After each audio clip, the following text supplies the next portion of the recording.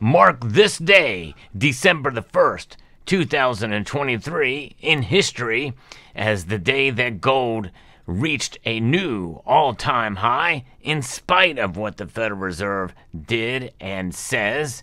We'll talk about that and so much more as we explore.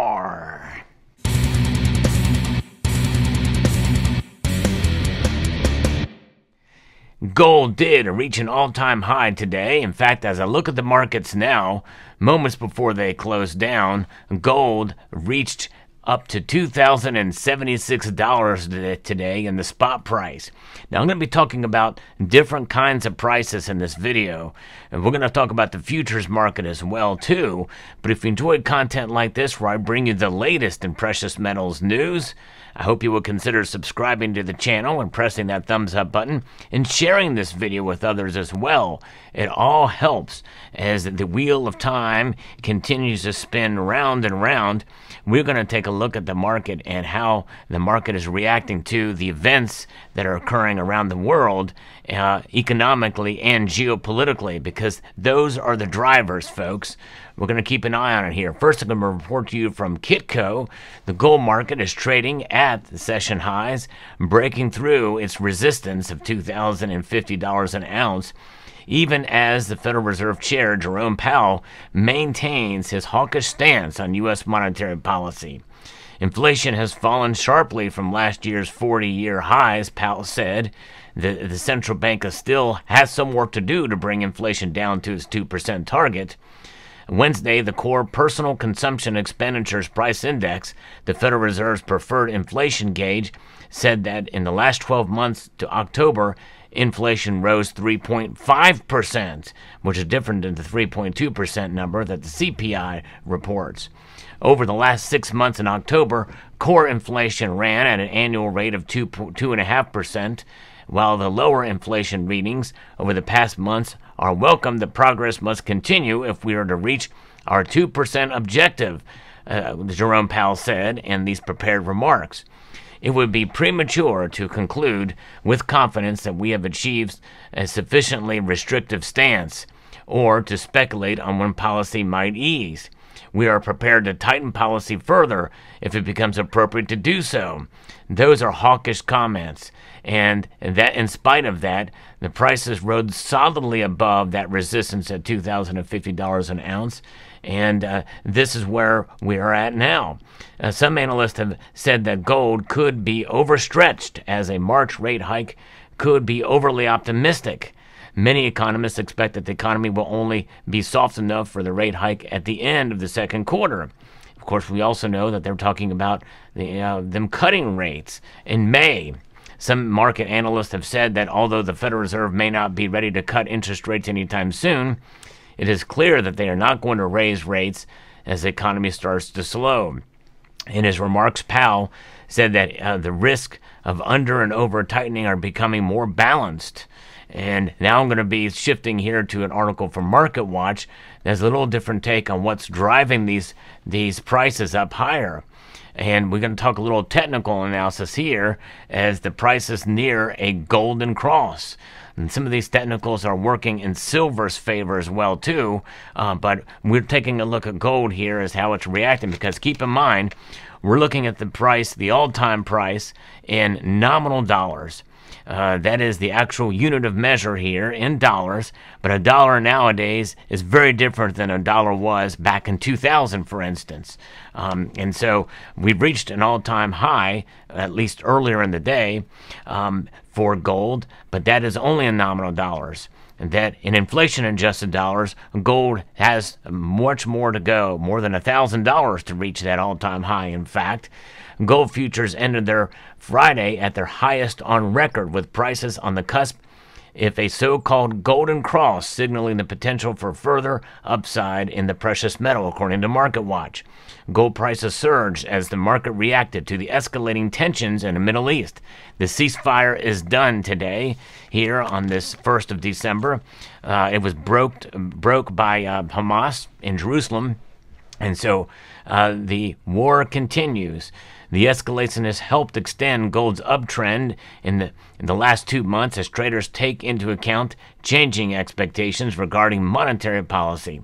Traders have said that have been betting on an end to the interest rate hike cycle and possible rate cuts in the first half of next year, which could continue to support gold's rise in the medium term.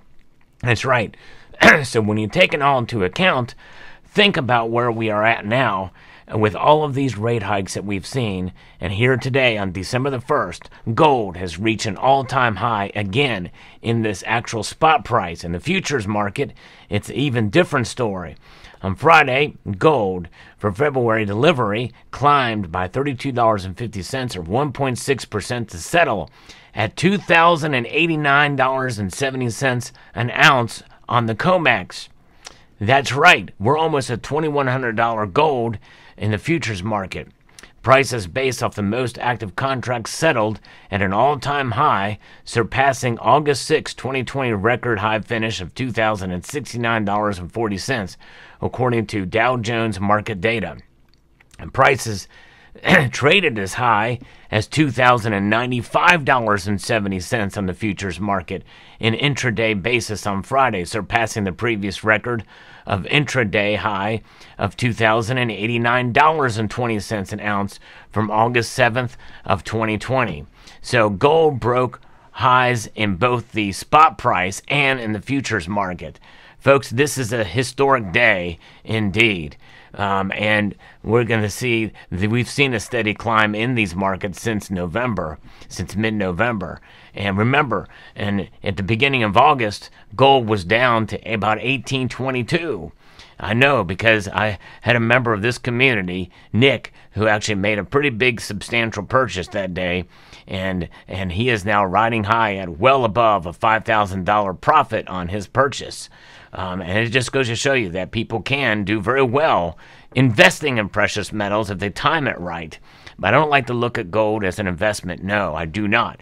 It is an inflation hedge. It is a protection, and most don't buy how uh, my uh, subscriber here, Nick, did uh, a whole tube of these coins, a whole tube of them at once. Most of us can't afford to do that, but when we buy slow and steady, uh, it will uh, preserve your wealth. In fact, I have a purchase coming in, and I'm pretty sure when I look at the numbers that I probably will have bought that coin for very near spot price uh, when it arrives. Uh, that just goes to show you how quickly these markets are moving and how really gold is defying the Fed uh, at, at every level in every way from the what we're seeing, especially with the um, futures, or especially with what they have been doing with raising interest rates to the tune of five percent.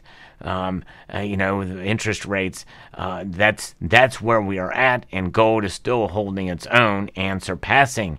In fact, some people think it's surpassing expectations, whereas silver has not done that. Silver certainly is following in, in, in gold's coattails, but it's just that. Gold now at an all time high today with a slight pullback as I record this video, but still, nonetheless, this is reason to celebrate, folks. This is why we do it. No matter what the Fed does and with what's going on around the world, all these other drivers and factors are indeed uh, supporting gold pushing past, past that support. Gold's rally started after the release of the October Consumer Price Index, according to Edmund Moy, who is a senior IRA strategist for U.S. Money Reserve and former director of the United States Mint. And the U.S. cost of living was unchanged in October, but the market viewed that uh, reading as saying that the Fed has tamed inflation and has probably finished raising rates and will, in all probability, start reducing rates sooner and faster than previously predicted. Well, that was before uh, the Jerome Powell's prepared remarks today. But we know that indeed, that no matter what the Fed does, they're in between a a, hard place and another hard place, an even harder place. Uh, there's not much they can do at this point. If they raise rates, that's going to potentially send the economy into a tailspin.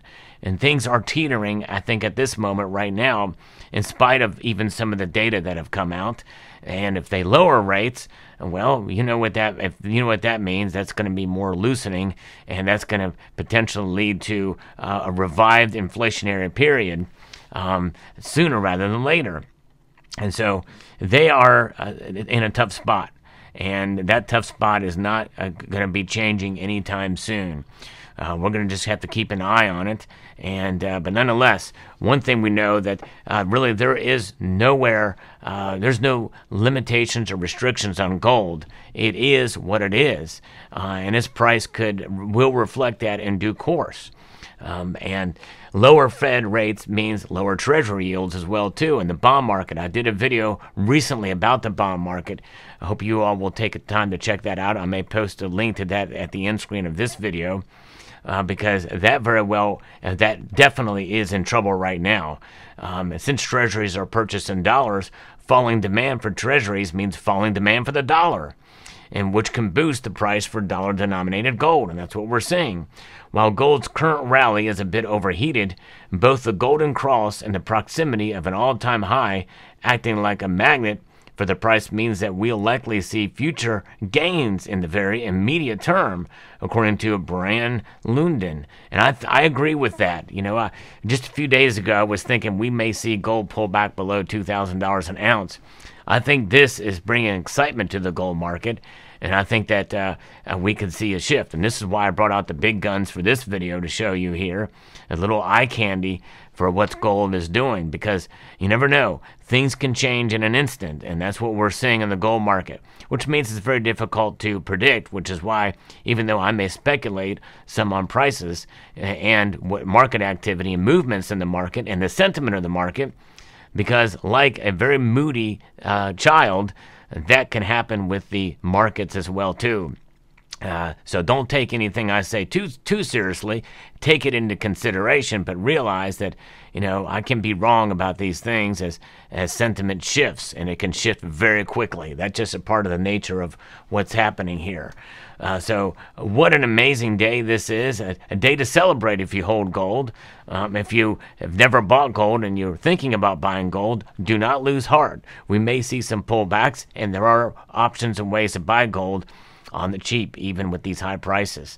So I've done several videos on how to buy fractional gold, by the way, cheaply.